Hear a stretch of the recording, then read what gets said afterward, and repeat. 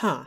Of all the things RWBY has done just for the hell of it, I'm surprised that they're just now having a big Rocky style training montage. Spoiler warning this is a review for RWBY Volume 7, Episode 5. If you haven't seen the episode yet, you may want to before watching this review. This episode was honestly kinda meh. It was a lot of information, a lot of setup, and not a lot of things actually happening. I'm glad they handled it with a big montage. It sure beats skipping all that stuff just like they did in previous volumes, but it still left a lot to be desired. When I heard Miles was excited for Thirsty Moms, I was expecting a lot more than a 5 second gag. That's really this whole episode. Even when it slows down, it still feels like a montage. I guess that's okay for however long it ends up lasting within the context of a three to four hour volume. I like Team FNKI showing up. I like that they were all training and that the training was far more substantial than anything in prior volumes. I like that we got more interaction with Winter and Weiss. I like that we got to see the Winter Maiden, but everything blows by so fast, none of these points are given the proper room to breathe. And two of the scenes that were given room to breathe weren't very good. I get they wanted to introduce Robyn Hill, but why here? What was she hoping to accomplish other than putting a target on her back? It gives me the same gut instinct that Forrest gave me. First impression is that she's a know-it-all brat who has no clue what is going on and is acting in complete ignorance in a way that could very well spell doom for all the people she claims to protect. Not only that, but if she really cared about Atlas opening its borders and getting rid of the embargo, then she wouldn't antagonize Atlas and put them in a position where they have to tighten up security even more. But Robyn isn't the only idiot. I'm not gonna say much about Jacques until next episode, but he's putting a massive spotlight on himself. He probably doesn't want if he's trying to cheat.